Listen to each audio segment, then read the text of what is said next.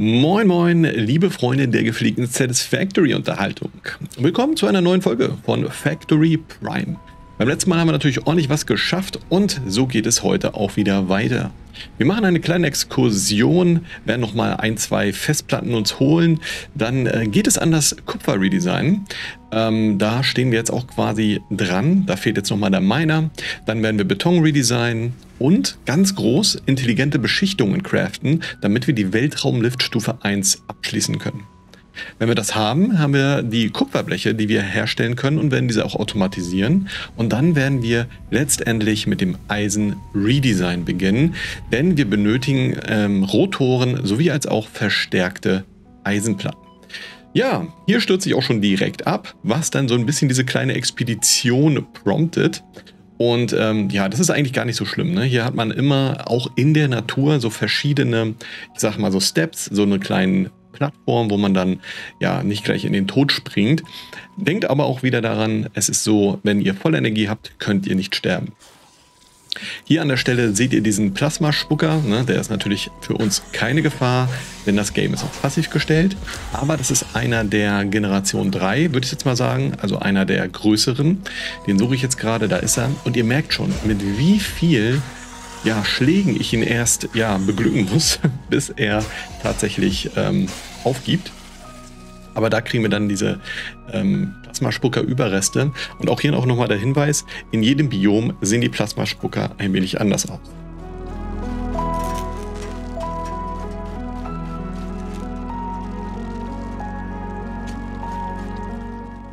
Die nächsten paar Minuten werdet ihr mit erleben, wie ich vergeblich versuche, oben auf diese Plattform zu springen.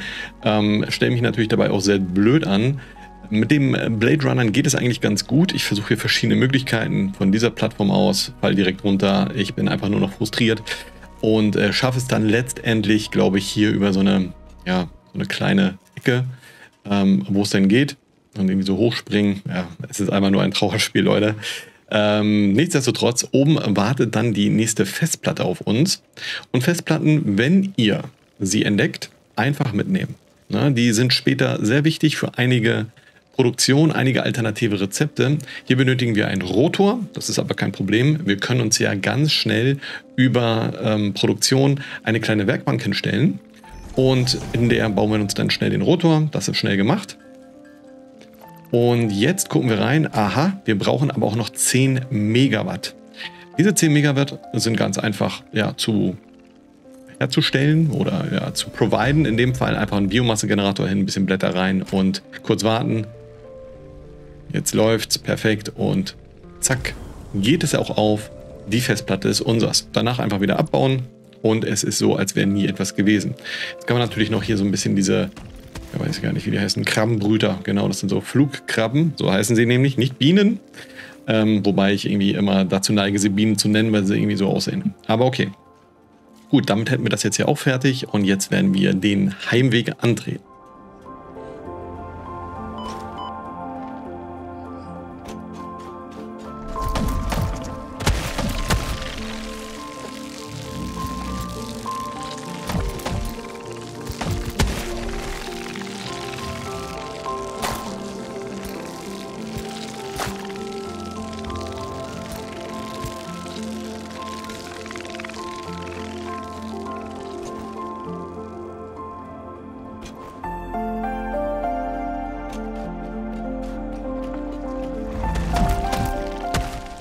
Auf dem Weg dahin äh, steht es euch natürlich frei, diese Krabbenbrüter, die tun euch ja nichts, ne? aber sie spawnen halt immer wieder, sofern ihr halt nicht diesen, ja, dieses Nest oder was auch immer ausschaltet. Irgendwann, glaube ich, despawnen die halt auch, ähm, wenn das Nest nicht mehr da ist oder wenn ihr eine gewisse ja, Meteranzahl von denen entfernt seid. Das weiß ich aber nicht ganz genau, was jetzt nur erstmal eine Vermutung. Ähm, genau. Und eigentlich so vom Design her, hier wieder mal so ein Plasma-Spucker. Äh, ihr seht, der, ist der, ähm, der hat das andere Design. Das ist der Waldspucker, nenne ich es mal so. Der spuckt jetzt keine Wälder, aber Plasma, und, aber wohnt in dem Waldbiom. Deswegen ist er so ein bisschen grün. Ne? Hier haben wir auch noch ein bisschen, ich glaube, Kohle war das. Und jetzt gehen wir entsprechend hier hoch. Also ich muss sagen, vom World Design sehr angenehm. Du hast halt immer irgendwie so kleine Rampen oder kleine Vorsprünge, wo du dann wieder zurück hochkommst. Und ähm, in dem Fall Northern Forest, Übergang runter zu Spire Coast und so weiter, ist schon gut designt, kann man nicht anders sagen.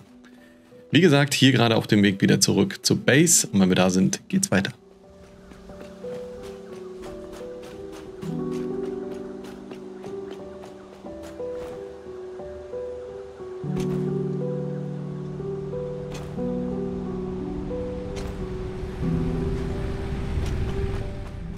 In der Base angekommen, geht es jetzt an die Erforschung der Festplatte. Das machen wir direkt. Dauert übrigens 10 Minuten.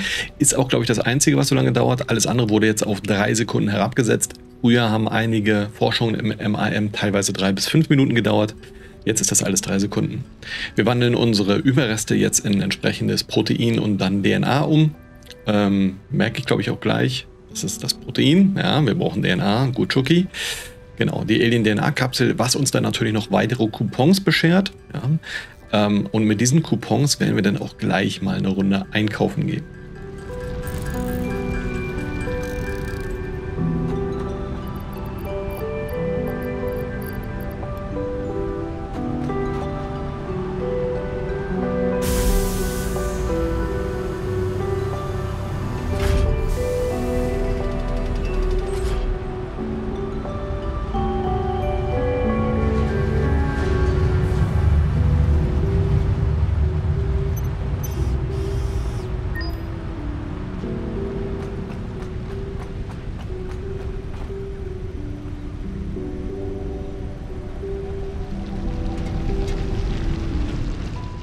Eines der ersten Items, die man sich mit den Coupons holen kann, vor allem wenn man Skybases baut, beziehungsweise äh, recht oben ist, ist natürlich hier unter Architektur ganz klar die Fabrikleiter. Damit kann man ganz schnell ziemlich ja, Höhen überwinden. Ja, deswegen kostet drei Coupons. Ist jetzt nicht günstig, ja, aber hilft natürlich ungemein später bei der ganzen ähm, Fabrikaufbau und wenn man dann doch mal ein bisschen höher muss. Ja, teilweise eben auch, wenn man Festplatten farmen will, so kann man recht schnell Höhen überwinden. Jetzt geht es erstmal daran, tatsächlich den Kupferminer aufzubauen. Das werden wir jetzt auch gleich tun und entsprechend connecten.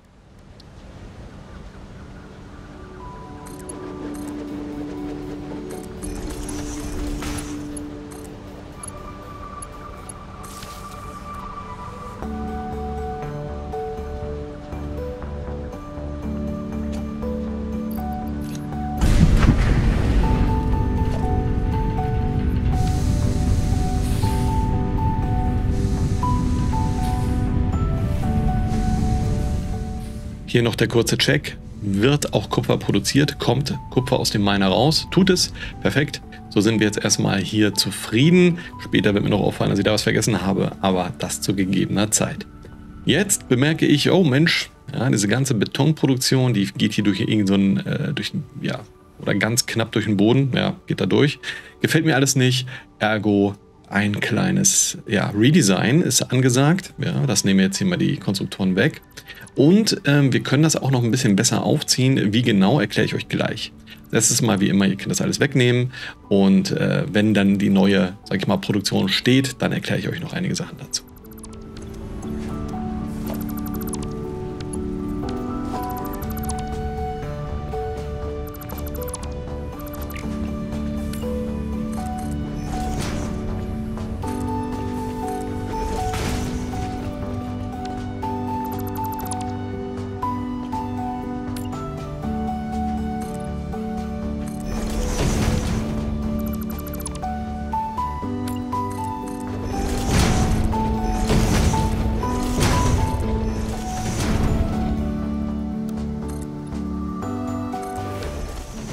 Wie vorhin schon angedeutet, hier kommt natürlich die Fabrikleiter jetzt äh, zum Einsatz. Ne? Einfach zack, schon bist du oben.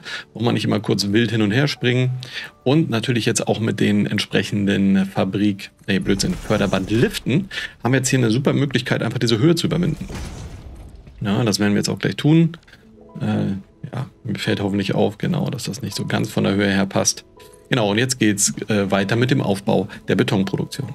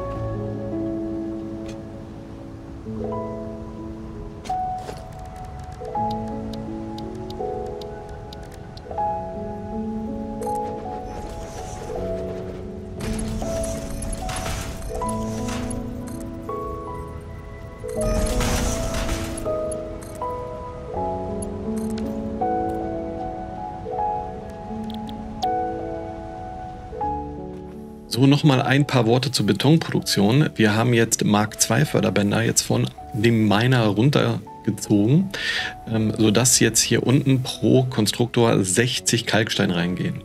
Und, ähm, aber er verarbeitet ja nur 45. Ergo müssen wir ihn übertakten. Das mache ich mit der entsprechenden ähm, ja, Energie.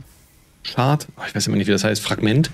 Ja, und da oben würde ich es auf 150 Prozent übertakten, würde er das auf 67,5 Einheiten Kalkstein-Input begrenzen. Wir brauchen aber nur 60, deswegen sind 20 die, ja, die, äh, der Output. Und so machen wir 40 Beton die Minute. Wir brauchen halt unseren Energiechart und dann geht das auch. Ähm, wo wir am Anfang noch runtergetaktet haben, takten wir jetzt hoch und haben entsprechend einen erhöhten Beton-Output. Und da kommt uns natürlich zugute, später brauchen wir halt natürlich Beton für unsere Plattform und äh, dementsprechend ist Beton zu haben immer wieder wichtig, gut und richtig.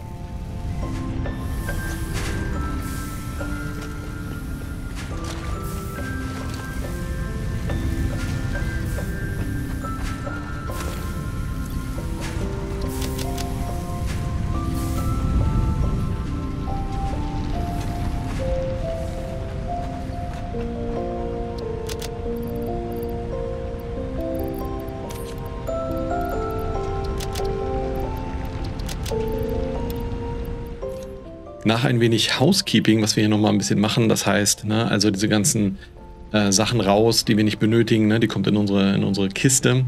Nochmal kurzer Check, wie sieht das hier aus mit den äh, Biomasse? Läuft das alles soweit in Ordnung? Eine Festplatte haben wir noch, wir haben Blütenblätter am Start, das ist alles noch da. Und was als nächstes kommt, ist die, ja, oder der Aufbau der kleinen Produktion für die intelligenten Beschichtungen. Da benötigen wir Fabrikatoren für, ne, mit entsprechenden Rotoren, 8 Stück und 16 Platten. Die äh, werde ich jetzt kurz herstellen. Wieder kurzer Skip. Ihr seht es immer rechts in der To-Do-Liste. So, und das ist jetzt wirklich einfach nur, ich sag mal, hingeschissen. Ne? So, zack, die Dinger nebeneinander. Dann einfach Strom ran, intelligente Beschichtungen. Wir brauchen exakt 50 für die erste Stufe. Und dementsprechend ähm, dadurch, dass die Ratio ziemlich dankbar ist, das heißt, für 50 intelligente Beschichtungen benötigen wir 50 Rotoren und 50 versteckte Eisenplatten. Und dementsprechend kann man das dann einfach so, ja, quasi schon per Hand vorcraften. Dann wirft man das da einfach rein, wartet ein bisschen und dann haben wir die 50.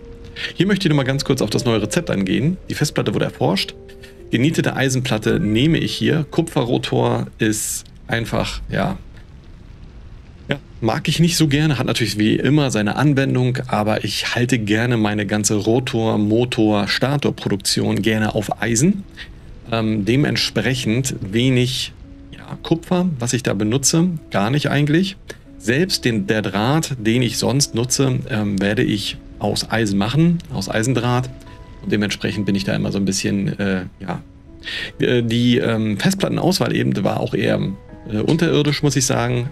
Genietete Eisenplatte mit dem Draht, okay, ja, kann man machen, wenn man, also eliminiert die Schrauben und von daher, ja.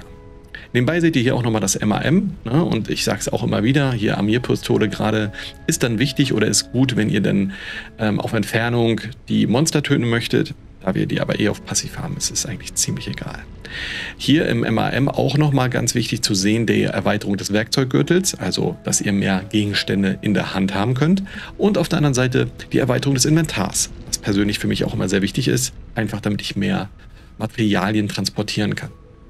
So, jetzt ist es eigentlich nur noch eine Sache von abwarten, was passiert, beziehungsweise was ist mit den ähm, intelligenten Beschichtungen. Das dauert jetzt eine Zeit, bis die gebaut sind. Und äh, danach sehen wir uns auch gleich wieder, sofern die dann fertig sind.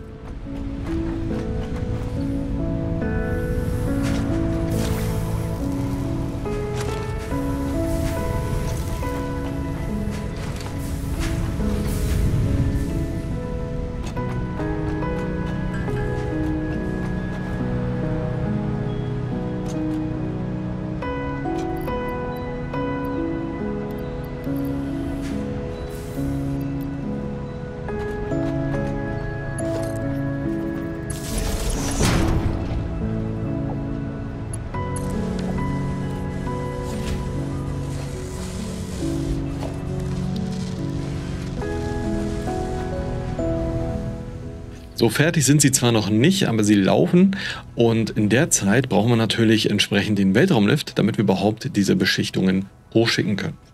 Jetzt ist der Weltraumlift recht ressourcenintensiv. Ihr seht es auf der rechten Seite, 400 Eisenstangen, 1500 Draht, die wir so noch gar nicht haben.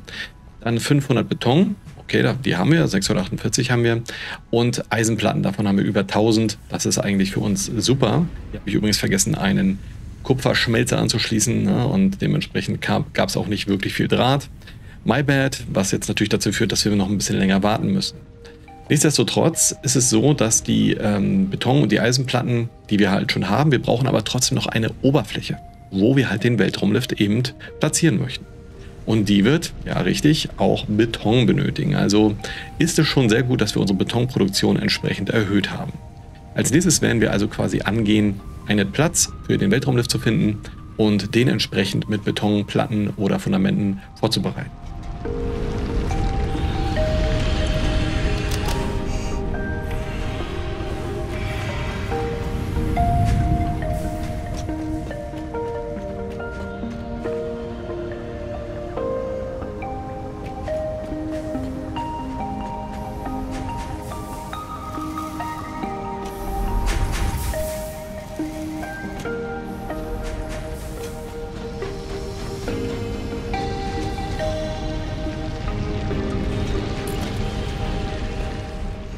Als Fläche für den Weltraumlift habe ich mir hier oben äh, die Position ausgesucht.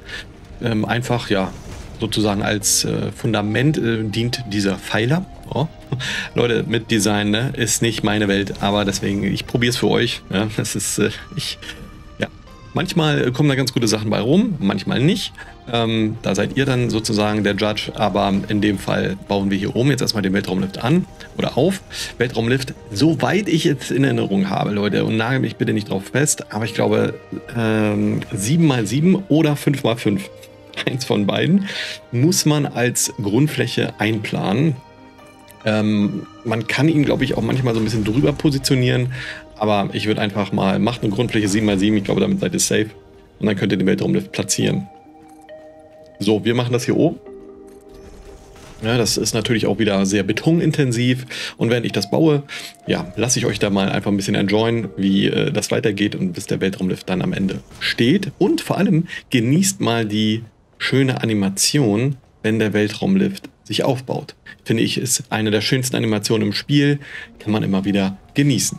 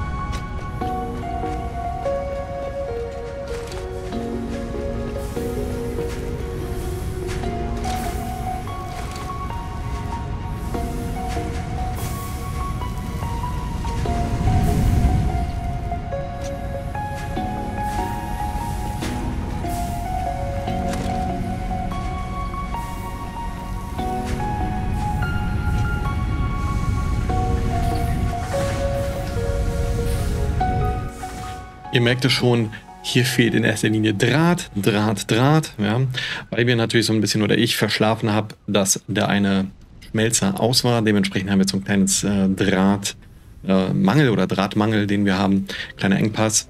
Aber gleich, ähm, ich glaube, ich mache das noch per Hand, werde das noch einmal zu Ende craften und dann geht es halt auch schon an den Weltraumlift. Und ihr merkt, Und äh, ja, ich verspreche euch auch, ähm, in diesen ersten, sage ich mal, Minuten, Stunden eines Playthroughs oder eines Plays macht man doch immer noch recht viel Handcrafting, gerade wenn man so ein bisschen rushen will. Äh, ansonsten ist es halt auch wieder warten. Na klar kann man das alles übertakten und was nicht alles, aber am Ende muss man hier warten. So, übrigens, genau richtig, äh, hier der Weltraumlift, wie ich ihn platziere. Äh, ich habe gern den Eingang hier vorne. Ähm, ich weiß gar nicht, ob ich das schaffe. Ja, links, rechts. Ja, das ist halt, ne, ohne Hoverpack und so weiter immer ein bisschen wild. Am liebsten müsste man das auch noch mit einem, äh, schnell, mit so einem Beobachtungsturm machen. Und irgendwann denke ich mir, okay, droppen wir den einfach so. Zack. Und jetzt fliegen da die Sachen hin. Ja, hier ist es so ein bisschen drüber, ne? Das meine ich damit. Aber jetzt kommt von oben aus dem Weltraum sozusagen so eine Art, ja, nennt sich ja Weltraumlift oder Weltraumfahrstuhl, Space Elevator. Ne?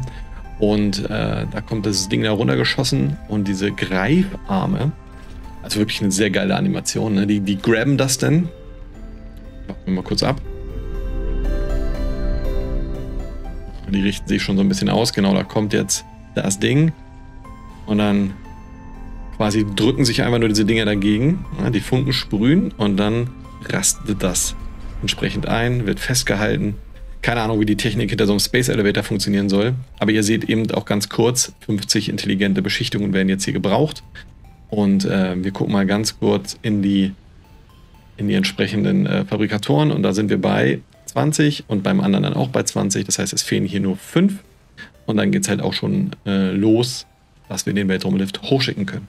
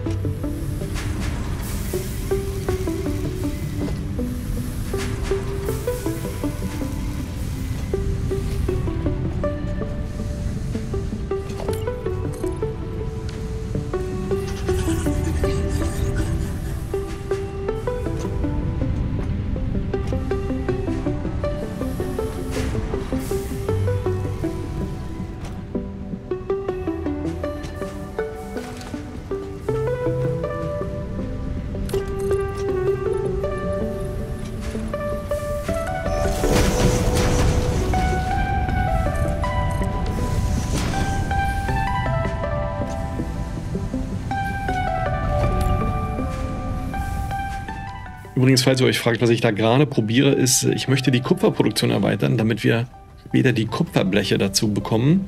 Und äh, ja, offensichtlich gelingt es mir nicht, weil ich, ähm, oder es fehlen halt noch ein paar Materialien dazu. Und die haben wir jetzt hergestellt. Jetzt gehen wir schnell zu den intelligenten Beschichtungen. Ihr seht, die Fabrikatoren sind gelb, das heißt, es ist fertig. Wir nehmen hier die 25 und da die 25. Und jetzt, liebe Leute, endlich geht es Richtung Weltraumlift.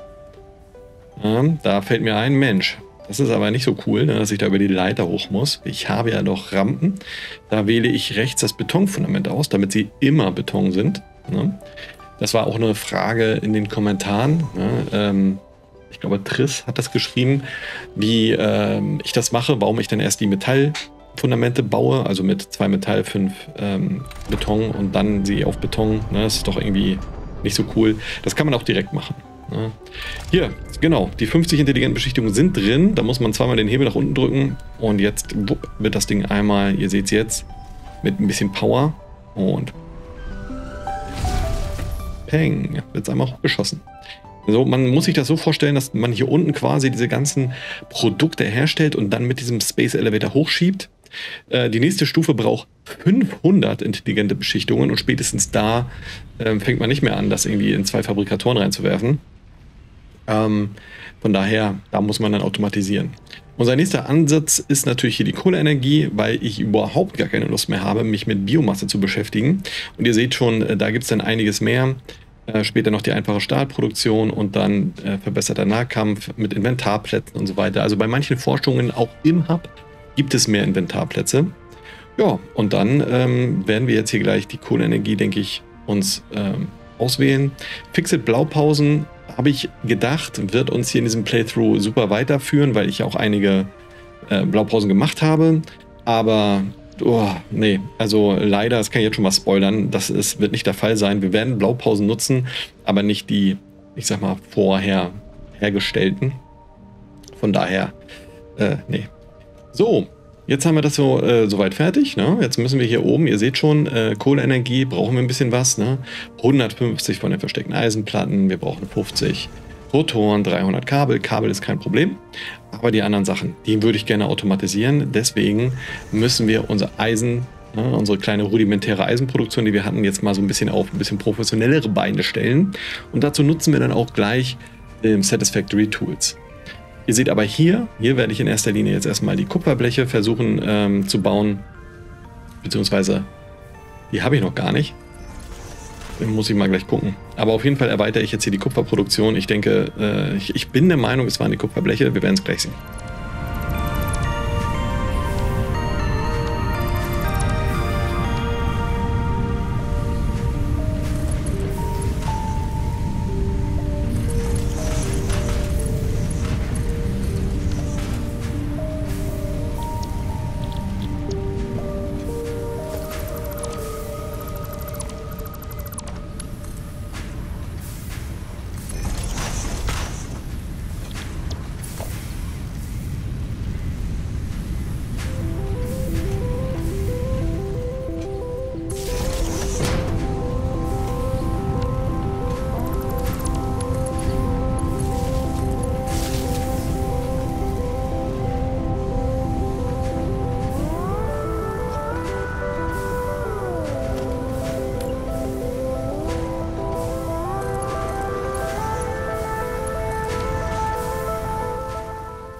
Hatte ich, ja, man möchte ja meinen, ich kenne mein eigenes Let's Play, aber tatsächlich ähm, sind wir schon on-stream teilweise sehr weit. Ähm, und ich bin so ein bisschen im Verzug mit dem Aufnehmen. Daher seht es mir bitte nach, entschuldigt. Wir haben jetzt hier die Kupferbleche natürlich reingepackt, auch äh, logischerweise, weil wir die später benötigen für Rohre und aber auch für KI-Begrenzer. Und KI-Begrenzer bilden ja die Grundlage zusammen mit Rotoren für die intelligenten Splitter, die natürlich später ganz viele neue Konstruktionen ermöglichen. Äh, zum Beispiel ein Zentrallager. Von daher, äh, das ist immer gut. Hier gucken wir gleich rein. Aha, nur noch zwei Biotreibstoff drin. Das heißt, wir haben einen Stromausfall quasi vorprogrammiert. Und ja, hier steht es auch vier pro Minute werden quasi gerade verbraucht. Und wenn ihr da mal auf diese Linien geachtet habt, das Graue ist, wie viel können wir produzieren. Und das Blaue ist, wie viel würden wir benötigen, wenn alles, was wir am Stromnetzwerk dran haben, an ist und bei 100% läuft. Und solange Grau über Blau ist, kann euch überhaupt nichts passieren. Ne? Wenn Blau über Grau ist, so nur ein klein bisschen, ist das auch okay. Weil in der Regel nie alles zu 100% läuft. Ich meine, das ist das, was ich zwar immer predige, beziehungsweise auch immer probiere, immer 100% Auslastung, aber es kann natürlich sein, dass es bei euch nicht der Fall ist. Gerade wenn ihr die Ratios nicht wirklich beachtet und so weiter. So, jetzt äh, erweitern wir nochmal so ein bisschen den Walkway, dass wir recht entspannt hier hochkommen zum, ähm, zum Spacelift. Äh, ich weiß gar nicht, ob ich das später nochmal abreiße, aber auf jeden Fall, ne, dass wir auch nicht runterfallen und all das. Ne? Da habe ich nämlich auch keinen, keinen Bock drauf. Ihr seht es jetzt hier übrigens Sicherung durchgebrannt. Ganz klar, da müssen wir jetzt auch gleich wieder ran. Und äh, ja, dann geht das hier auch weiter und dann werden wir uns demnächst an das Eisen Redesign wagen.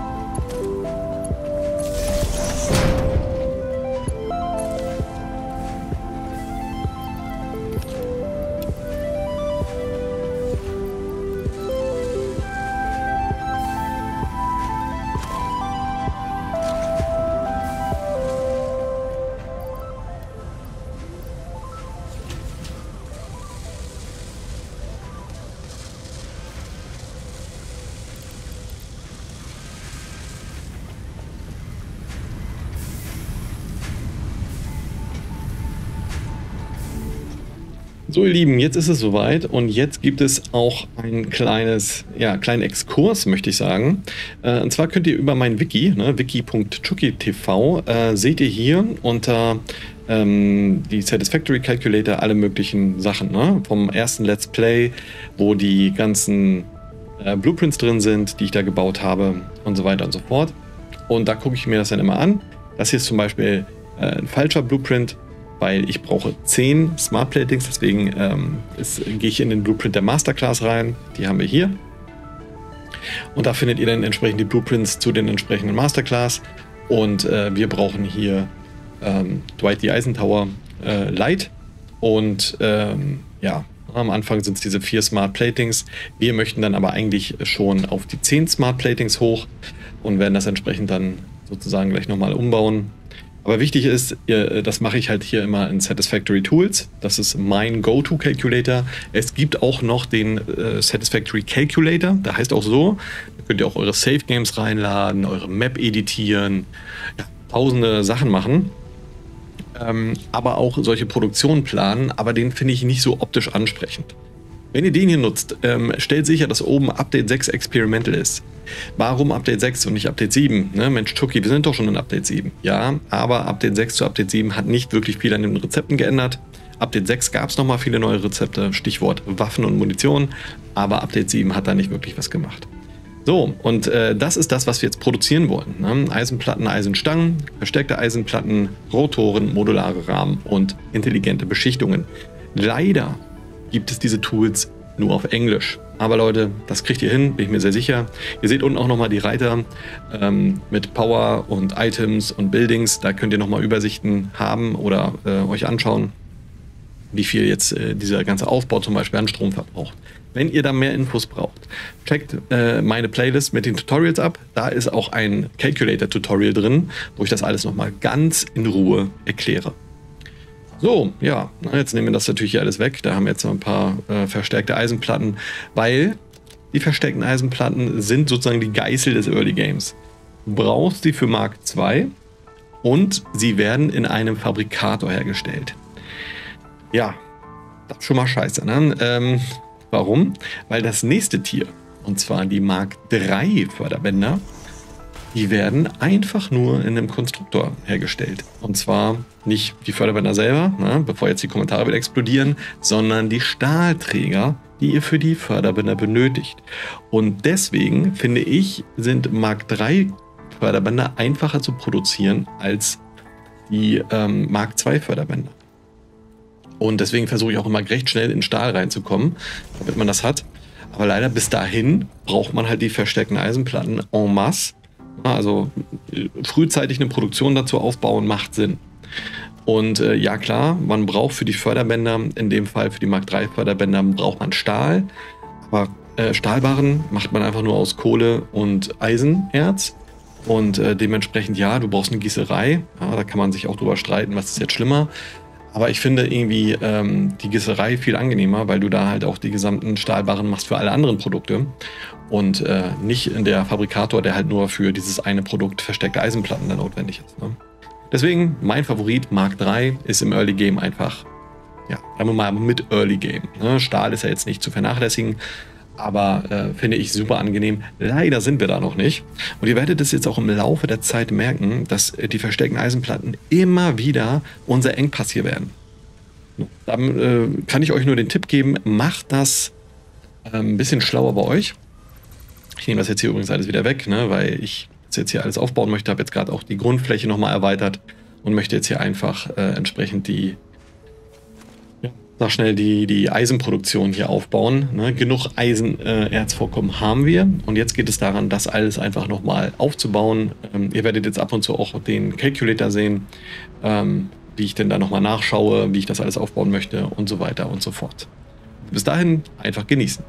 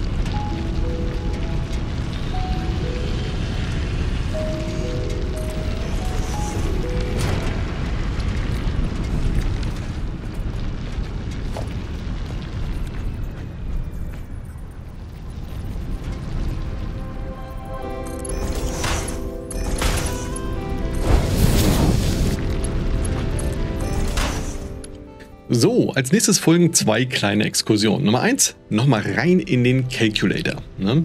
Und zwar ähm, kurzer Aufbau, beziehungsweise wie machen wir das?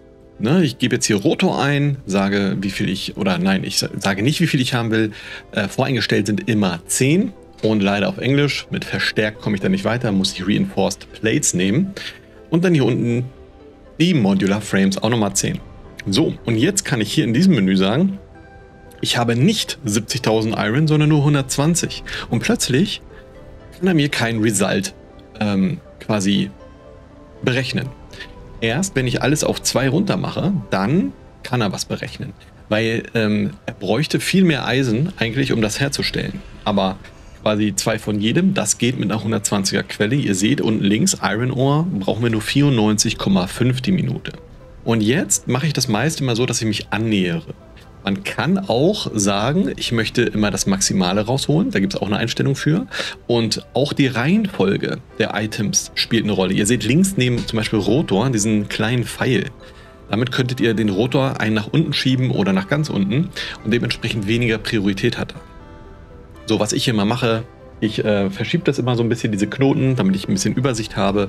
Das könnt ihr natürlich machen, wie ihr wollt. Ne? Aber da seht ihr dann die entsprechenden Sachen. Und zum Schluss nochmal, äh, genau, Iron Rods brauche ich noch, ne? 10 Stück ist wieder zu viel, zwei Stück gehen klar, ne? Da brauche ich dann nur, glaube 119, genau, jetzt 120. Jetzt haben wir genau 120 Eisenerz, die reingehen und dann kriegen wir halt 4, 2, 2, 3 raus. Und ich glaube, das reicht mir sogar erstmal ähm, dass das alles läuft. Wohl wissend, dass beispielsweise äh, Schrauben und so weiter, die sind jetzt quasi erstmal raus. Ne? Aber dafür habe ich ja halt auch eine andere Produktion. Was ich jetzt hier mache, ist, ich nehme die dritte Mine, die reine. 120 kann ich ja auch nur produzieren bzw. verarbeiten, weil ich nur Mark II Bänder habe. Und dementsprechend ist das der Aufbau, den wir jetzt hier machen. Genau. Ähm, ja, ich habe eben nochmal gesagt, Update 6 Experimental muss sein. Dann ähm, habe ich hier noch so andere Sachen. Aber theoretisch ist das jetzt erstmal das, wie wir das hier alles starten wollen. Ihr seht, es werden auch Schrauben und so weiter gemacht. Ich hätte jetzt auch noch alternative Rezepte dazu bringen können. Ne? Aber welches habe ich denn? Ich habe nur dieses verstärkte Eisenplatte mit Draht. Draht ist Kupfer. Möchte ich Kupfer in eine pure Eisenproduktion mit reinbringen? Nein. By the way, ähm, die neuen Himmelskörper, die jetzt am Nachthimmel sind, die sind auch neu. Ich glaube, mit Update 6 wurden sie eingeführt. Die neue Skybox, sehr schön. Und übrigens äh, auch kleiner, sag ich mal, Easter Egg, wenn ihr in den Fotomodus geht und hier auf den Lavaplaneten rauf zoomt, ja, äh, wir warten gleich nochmal, bis er ein bisschen besser zu sehen ist, dann seht ihr auf der Oberfläche so kleine ja, Texturen. Da oben seht ihr es, genau in der Mitte. Ne? Ähm, das ist ein Hub oder ein Konstruktor. So wird das zumindest vermutet. Und davon gibt es zwei oder drei Plätze auf diesem Lavaplaneten. Mit anderen Worten, ist das entweder ein Lavaplanet oder war das mal ähm, genauso ein Planet wie wir, wo Fixit quasi ja, sich niedergelassen hat und den Planeten so weit ausgebeutet hat, dass er jetzt nur noch diese leblose Hülle eines Planeten ist. Man weiß es nicht. Ähm, ich denke mit 1.0, wenn dann die Story endlich kommt und das Sum-Erz, die Mercer Spheres, die Summer Sloops ähm, alle eine Rolle spielen, vielleicht wird es dann ja ein bisschen genauer oder ein bisschen ähm, ja, wird es ein bisschen klarer. Was ich mir natürlich vorstellen kann, dass in der letzten Space Elevator Stufe danach irgendwie der Planet vielleicht explodiert oder sowas, ne? Oder dann genauso aussieht. Naja, also aktuell, by the way, äh, arbeiten ja alle an, ähm, an 1.0 und Update 8. Ähm, das wird natürlich jetzt hier, wenn ihr das irgendwann seht, nachdem das alles released ist hier, dann werdet ihr das wahrscheinlich schon alles wissen. Aber ähm, zu dem Zeitpunkt der Aufnahme ist es so, dass jetzt ab nächster Woche die Teaser zu Update 8 beginnen und ich bin sehr gespannt, was dort gebaut wird oder beziehungsweise angekündigt wird. So, dann lasse ich euch mal wieder einen kleinen Moment alleine, während ich hier die Aufbauten mache für die äh, Produktion, die wir eben im, Cal im Calculator oder in den Satisfactory Tools gesehen haben.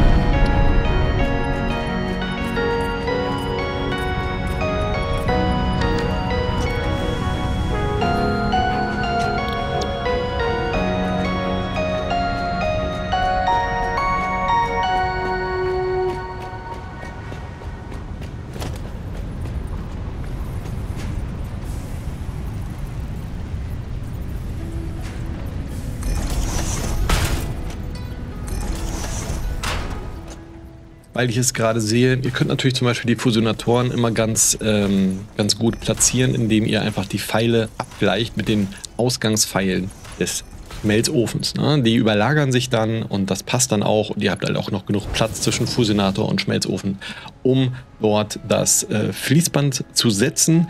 Es geht sogar noch einen Step weiter rein. Auch dann könnt ihr das Fließband setzen.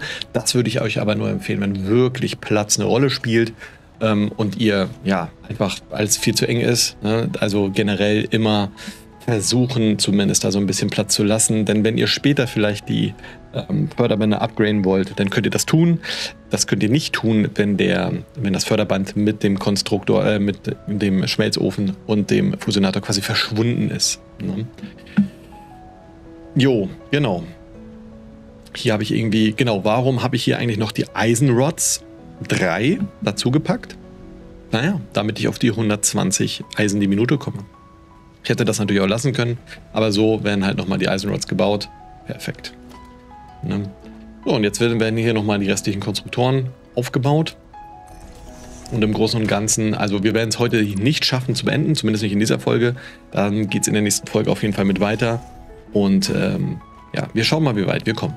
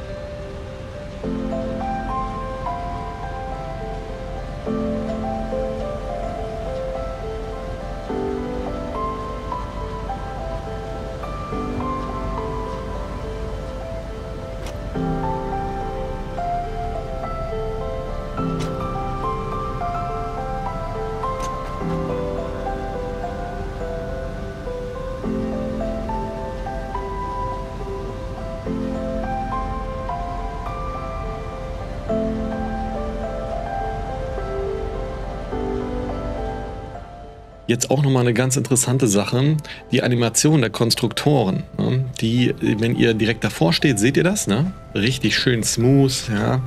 Geht ihr aber zurück, ein paar Meter, ähm, jetzt so wie ich zum Beispiel jetzt hier auf der, äh, der Basis so, und nutzt den Fotomodus, um ran zu zoomen, dann seht ihr das.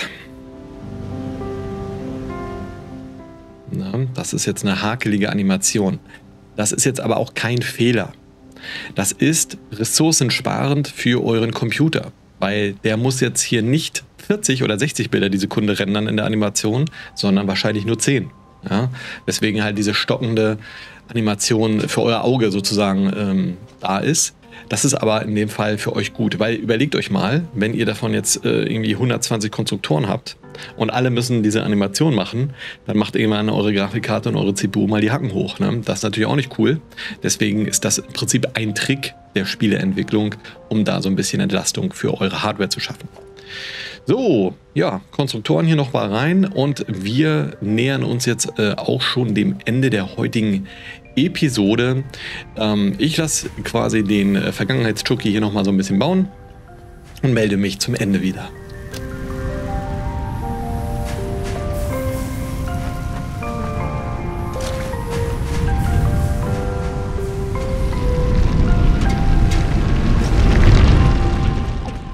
Ja, oder halt auch ein bisschen früher. Ne?